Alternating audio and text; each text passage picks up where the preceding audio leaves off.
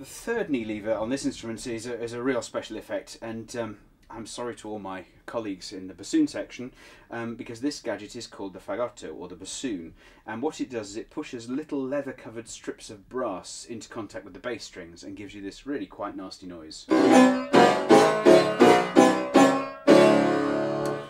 Now, the interesting thing is, we have no idea what they use that for.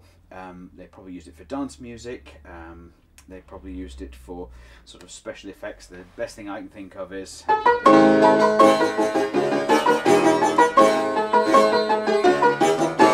Which is a little bit um, raucous and horrible. So, as I say, I do apologise to my bassoon colleagues who don't play anything like that most of the time.